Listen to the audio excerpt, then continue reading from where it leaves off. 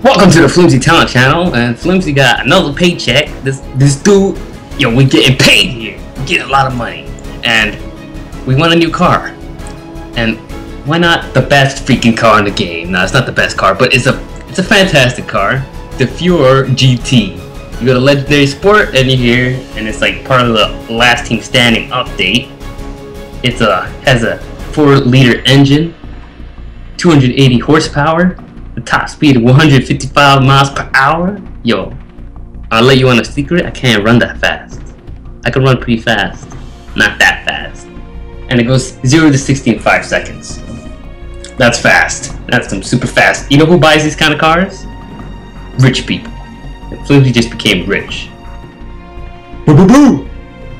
Oh, there's another car, by the way. You know, it's a secret, it's super secret car.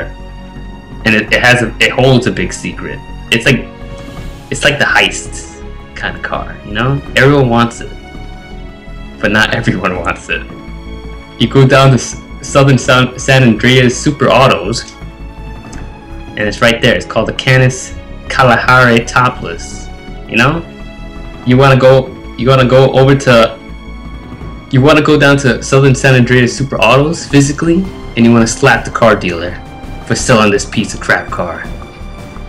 This car is so bad. You know? You know who buys these kind of cars? Look, I'm, I'm putting down the controller. See, I put it down. You know who you know who buys these kind of cars? Old people.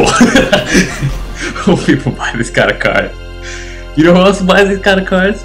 People that are thinking about committing suicide. Okay, uh, guys, we're getting a little off topic, uh, out of control. You know so. what? You know what? Who else buys these cars?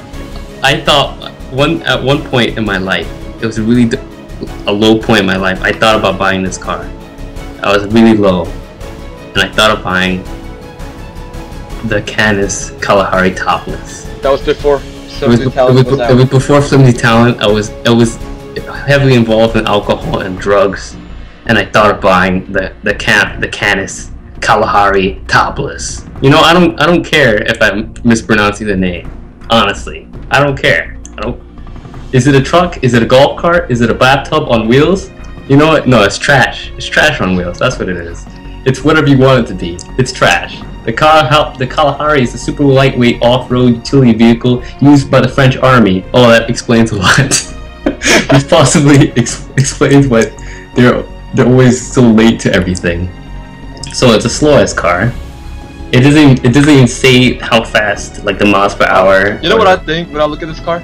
Did you ever watch a show called Flintstone? Flint, oh yeah, I think about that. I'm yeah. there's no there's no engine in here. You use your feet to go here. you know you know what I think?